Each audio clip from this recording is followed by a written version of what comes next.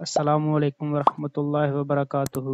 Viewers आज का हमारा प्रोजेक्ट है R F I D base vehicle barrier control. चलिए शुरू करते हैं सर्किट डायग्राम से। ये हमारे पास सर्किट डायग्राम है। कोड सर्किट डायग्राम का लिंक आपको नीचे वीडियो की डिस्क्रिप्शन में मिल जाएगा, वहाँ से आप डाउनलोड कर सकते हैं। इसमें सबसे पहले हमने नाइन वोल्ट की बैटरी यूज़ की हुई है पावर सोर्स के लिए। इसके बाद अडीनो योनो यूज़ किया हुआ है। इसके बाद यहाँ पर हमने R F I D tag reader use किया हुआ है। R C five hundred twenty two R C five hundred twenty two को हम एस पी आई प्रोटोकॉल से रन कर रहे हैं। इस R F I D receiver से हम 13.56 मेगाहर्ट्ज के ISM बैंड रीड और राइट कर सकते हैं। आज की वीडियो में हम सिर्फ़ टैग को रीड ही करेंगे। इनशाला नेक्स्ट किसी वीडियो में हम आर एफ़ टैग को रीड और राइट दोनों करेंगे। इसके बाद यहाँ पर हमने थ्री एलईडीज यूज़ की हुई हैं। ग्रीन येलो रेड एलईडीज की नेगेटिव हमने डायरेक्ट ग्राउंड के साथ अटैच की हुई है। एलईडीज की पॉजिटिव पे अंडर की रिस्टेंस सीरीज़ में लगा के अडीनो की पिनों पे दी हुई है। इसके बाद यहाँ पर हमने बैरियर ओपन क्लोज करने के लिए मिनी सर्वो मोटर यूज़ की हुई है एस जी नाइनटी तो ये थी हमारी सर्किट डायग्राम चलिए अब डायग्राम के मुताबिक हार्डवेयर ज्वाइंट कर लेते हैं।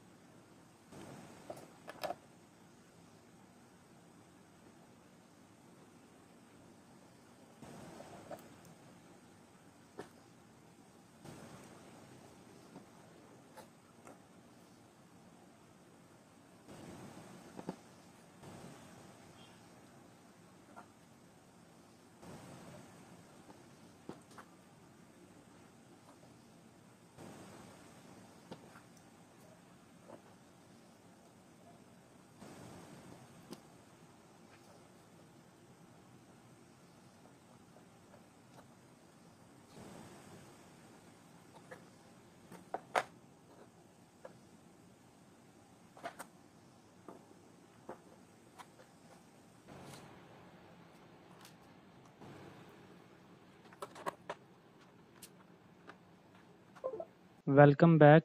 चलिए अब आपको कोड का ओवरव्यू दे देता हूँ।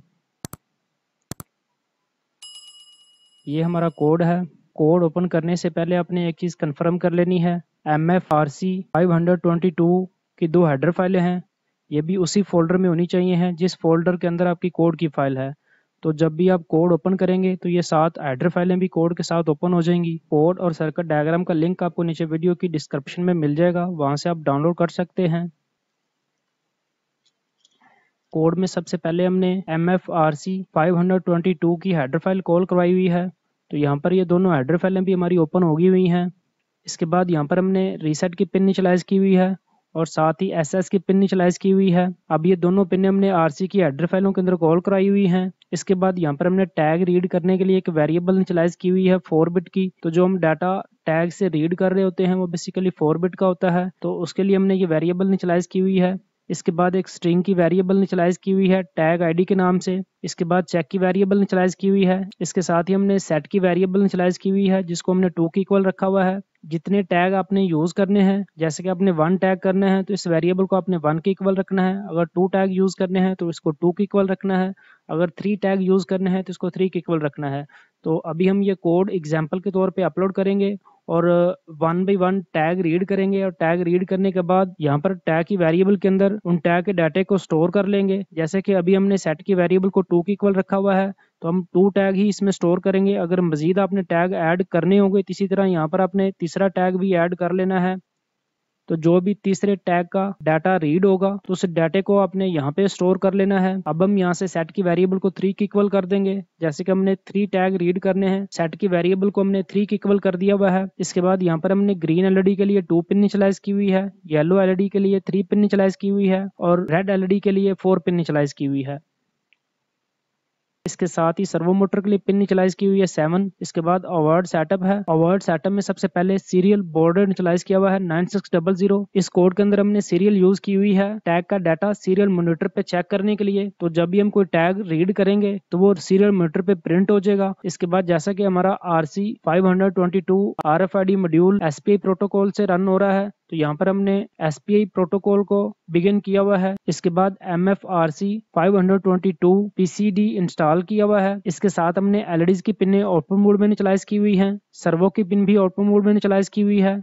इसके बाद सर्वो पल्स का फ़ंक्शन है। उसके अंदर हमने सर्वो की पिन और जितने डिग्री पे हमने सर्वो मोटर को निचलाइज करना है, वो दिए हुए हैं। तो यहाँ पर हम स्टार्ट में 30 डिग्री पे सर्वो मोटर को राइड करवा रहे होते हैं। 30 डिग्री पे बैरियर हमारा क्लोज होता है। इसके साथ ही हमने ग्रीन एलईडी की पिन पे ज़ीरो राइट किया हुआ है। तो ज़ीरो पे एलईडी हमारी ऑफ़ हो रही होती है और वन पे एलईडी हमारी ऑन हो रही होती है। जैसा कि स्टार्ट में हम ग्रीन और येलो एलईडी को ऑफ़ रखते हैं और रेड एलईडी को हम ऑन कर देते हैं तो यहाँ पर हमने रेड एलईडी की पिन पे वन राइट किया हुआ है।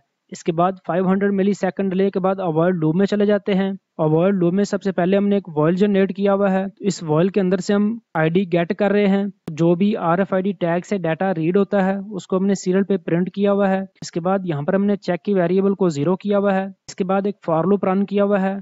तो ऊपर हमने एक टैग की जितनी क्वान्टिटी सेट की होगी तो ये फॉर लूप उतनी दफ़ा रन होगा। जैसे कि हमने टैग की वेरिएबल थ्री की इक्वल की हुई है तो ज़ीरो पहला टैग है वन दूसरा है, और टू तीसरा टैग होगा। अब यहाँ पर हमने जो हमारा टैग रीड हुआ है और साथ जो हमने टैग स्टोर किए हुए हैं तो जो फॉर लूप के अंदर हमने आई की वेरिएबल को इंक्रीज किया हुआ है, पहले हमने ज़ीरो वाला आईडी मैच करना होता है। अगर ज़ीरो वाला आईडी मैच हो जाता है उस कंडीशन के ऊपर हमने चेक की वेरिएबल को वन कर देना है। अगर ज़ीरो वाला आईडी मैच नहीं होता है, जो हमने टैग रीड किया है उसके साथ उस कंडीशन के ऊपर इसने दोबारा से फॉर लूप को रन करना है। यहाँ पर आ जाएगा वन अगर ये टैग वन से भी मैच नहीं होगा, उसके बाद फिर इसने आई की वेरिएबल को इंक्रीज करना है, और जैसे कि तीसरे टैग के साथ भी मैच करेगा अगर तीसरे टैग के साथ मैच नहीं होता है तो उस कंडीशन के ऊपर इसने नीचे चले जाना है। येलो एलईडी को टेन टाइम फ्लैश करना है, जो कि इंडिकेट करेगी कि टैग आपका मैच नहीं हो रहा है, इसलिए बैरियर ओपन नहीं होगा।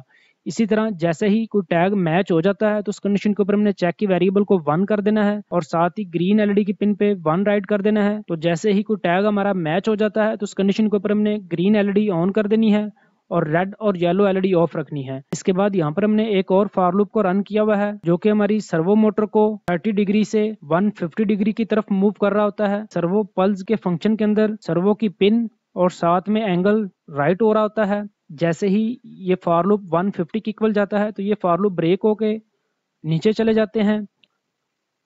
तो यहाँ पर हमने 5000 मिली सेकेंड का डिले रखा हुआ है। तो एक दफ़ा अगर बैरियर ओपन हुआ है तो 5000 मिली सेकेंड डिले के लिए बैरियर ओपन रहता है, इसके बाद जैसे ही बैरियर क्लोज होने लगता है तो उस कंडीशन के ऊपर हम ग्रीन एलईडी की पिन पे ज़ीरो राइट कर देते हैं और येलो एलईडी की पिन पे हम वन राइट कर देते हैं। तो ग्रीन एलईडी हमारी ऑफ़ हो जाती है और येलो एलईडी ऑन हो जाती है और इसके बाद थाउज़ेंड मिली सेकंड का डिले है। थाउज़ेंड मिली सेकंड डिले के बाद दोबारा से एक फार्लूप रन किया हुआ है, जो कि 150 से 30 की तरफ़ डिक्रीज होगा। इस फार्लूप के अंदर भी हमने सर्वो पल्स का फ़ंक्शन कॉल कराया हुआ है और साथ ही एंगल की वेरिएबल सर्वो की पिन पे राइट हो रही है। तो जैसा कि टैग हमारा मैच हो गया था तो मैच होने के बाद अपने बैरियर को ओपन किया है। इसके बाद 5000 मिलीसेकंड का स्टे दिया है। इसके बाद फिर 1000 मिली का स्टे है। येलो एलईडी के लिए है कि बैरियर क्लोज होने लगा है। इसी तरह ही अब हमने इस फार को ब्रेक करना है तो हमने आई को सेट की वेरिएबल की इक्वल कर देना है। तो जितनी क्वांटिटी हमने सेट की रखी होगी तो वो आई की इक्वल हो जाएगी। तो ये फार हमारा ब्रेक हो जाएगा। और जैसे ही फॉर लूप ब्रेक होगा तो उस कंडीशन के ऊपर इसने नीचे जाना है। यहाँ पर हमने चेक की वेरिएबल पे चेक लगाया हुआ है। अगर चेक की वेरिएबल ज़ीरो की इक्वल होगी, इसका मतलब है टैग मैच नहीं हुआ है। अगर टैग मैच हो जाता है तो चेक की वेरिएबल वन हो जाती है। उस कंडीशन के ऊपर इसने ये वाला फ़ंक्शन ऑपरेट नहीं करना है। अगर चेक की वेरिएबल ज़ीरो होती है तो उस कंडीशन के ऊपर इसने ये फ़ंक्शन ऑपरेट करना है। तो इस फ़ंक्शन के अंदर हमने टेन टाइम के लिए फॉर लूप को रन किया हुआ है। अगर रॉन्ग टैग रीड हुआ है तो उस कंडीशन के ऊपर येलो एलईडी टेन टाइम के लिए ब्लिंक करेगी, जो कि इंडिकेट कर रही होगी कि जो टैग है, वो मैच नहीं हुआ है। इसके बाद यहाँ पर हमने ग्रीन एलईडी की पिन पे ज़ीरो राइट किया हुआ है येलो एलईडी की पिन पे भी ज़ीरो राइट किया हुआ है, और रेड एलईडी की पिन पे हमने वन राइट किया हुआ है। इसके बाद टेन मिली का डिले है।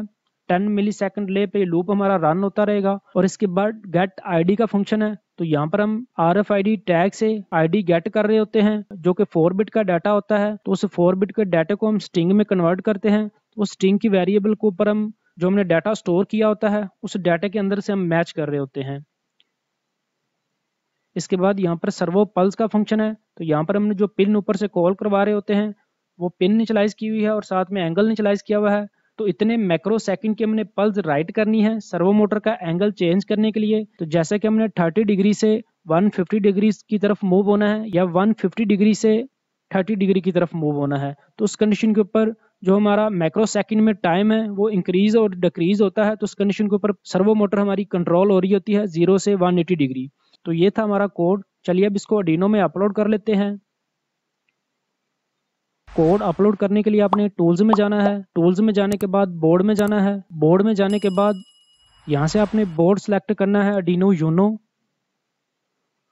बोर्ड सेलेक्ट करने के बाद दोबारा फिर टूल्स में जाना है। और यहाँ से आपने पोर्ट सेलेक्ट करनी है। पोर्ट सेलेक्ट करने के बाद यहाँ से आपने कोड अपलोड कर देना है।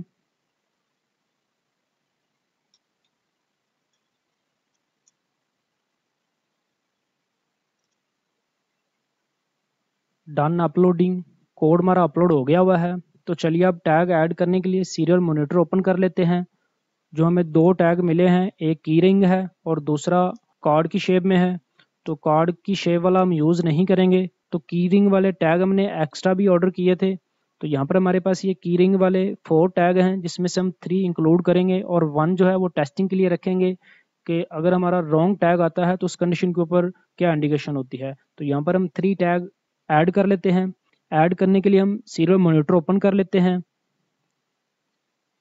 तो सीरियल मोनीटर हमारा ओपन हो गया हुआ है। यहाँ पर आपने बॉर्डर कन्फर्म कर लेना है नाइन सिक्स डबल ज़ीरो तो अब इन टैग में से कोई भी टैग हम R F I D receiver के सामने करेंगे। तो जैसे इसने टैग रीड किया है तो यहाँ पे सीरियल मोनीटर पे इसकी आईडी मिल गई हुई है।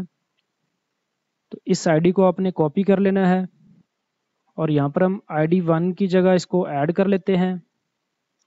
तो जैसा कि ये वन टैग हमारा ऐड हो गया हुआ है, इसी तरह ही आपने, इसी तरह ही अब हम दूसरा टैग रीड कर लेते हैं। तो यहाँ से हम दूसरे टैग का भी आईडी कॉपी करके आईडी टू में ऐड कर लेते हैं। इसके बाद तीसरा टैग रीड कर लेते हैं।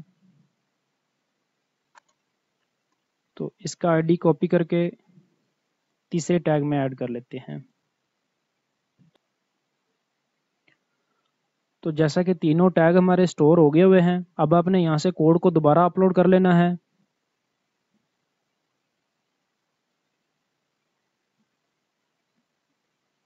डन अपलोडिंग कोड हमारा अपलोड हो गया हुआ है। तो अब हम दोबारा से सीरियल मोनीटर ओपन करते हैं और यहाँ से हम कोई भी एक टैग रीड करते हैं जो हमने स्टोर किए हैं उनमें से। तो जैसा कि हमने थर्ड वाला कार्ड रीड किया है तो उस कंडीशन के ऊपर बैरियर हमारा ओपन हो गया हुआ है। इसके बाद सिक्स सेकंड के बाद ऑटोमेटिकली क्लोज हो गया हुआ है।